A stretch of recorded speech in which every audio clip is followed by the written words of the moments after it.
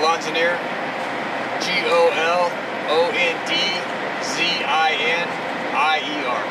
And you're a captain with LA County Fire? Los Angeles County Fire Department. And sir, what time was uh, were you guys dispatched out here tonight? We were dispatched at 10:04 to uh, 6412 Heliotrope for an apartment building fire. When you guys got here, I mean, do we have fire on the second floor? Give me a rundown of what you guys had on arrival. Yeah, first arriving captain reported smoke showing. Incoming units uh, followed up through the investigative mode.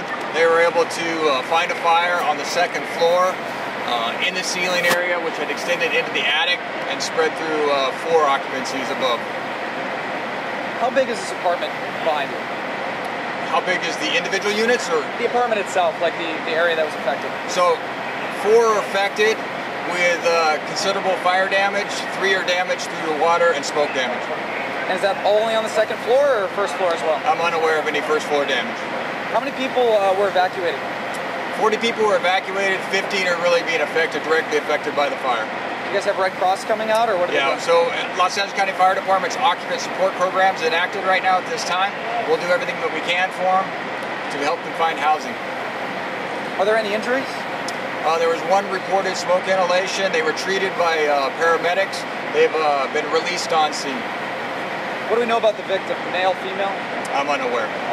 Now, investigators, you mentioned investigators came uh, to find the cause of the fire. Do we have any idea where it started? Is it like a kitchen fire that got out of hand? or?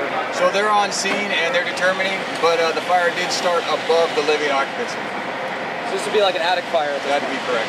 How long did it take to get knocked down? It took about 30 minutes to get knocked down.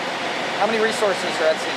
Right now we have a second alarm, so that gives us uh, 10 engine companies, four truck companies, and then associated firefighter paramedics and uh, other resources. Approximately how many personnel?